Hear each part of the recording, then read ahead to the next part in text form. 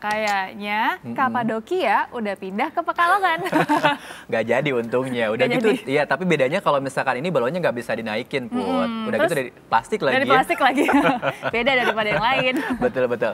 Uh, baik kita ke informasi selebritis pemirsa. Penyanyi Agnes Mo jadi bintang tamu spesial klub Liga Utama Sepak Bola Amerika Los Angeles FC saat menjamu Minnesota United. Ya, Agnes Mo diberi kesempatan istimewa jadi kapten kehormatan di laga yang berlangsung di Stadion Venue Bank of California.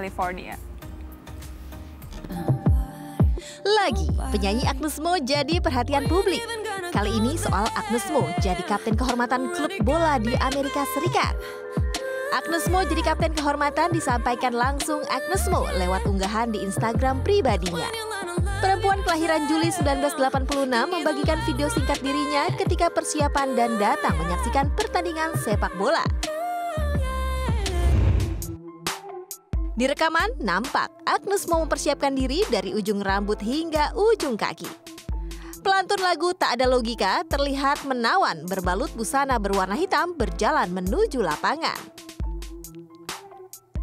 Kedatangan Agnes Mo disambut hangat pihak Los Angeles FC. Agnes Mo memperlihatkan jersey bernomor punggung 10 bertuliskan nama dirinya. Dari keterangan yang ditulis, Agnes Mo mengucapkan terima kasih kepada LAFC karena telah mengundang dan menjadikan dirinya sebagai kapten kehormatan.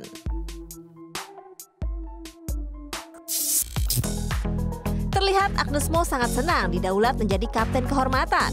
Agnes Mo juga memberitahu dirinya melempar poin dengan kuku panjangnya. Sontak postingan Agnes Mo mendapat banyak komentar warganet.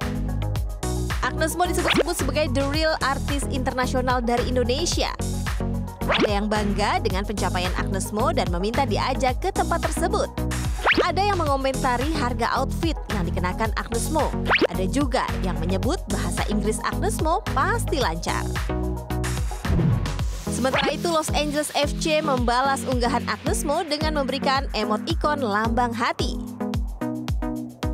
Tanggapan lain, ada netizen membela Agnes Mo. Ia menuliskan menampar nyinyiran haters dengan prestasi. Sebelumnya, pemilik nama Agnes Monica Muljoto jadi sorotan usai dituding melakukan tindak operasi plastik. Mulanya, kabar tersebut tak dihiraukan. Akhirnya Agnes Mo membungkam sentilan haters dengan mengunggah foto dirinya menggunakan efek rias. Agnes Mo memuji hasil karya make up artis atau MUA. Wajah, itu saja. Itu saja captionnya. Betapa gilanya make up memberikanku wajah berbeda. Sorak untuk MU aku, tulis Agnes Mo. Tak sedikit netizen meninggalkan komentar memuji kecantikan Agnes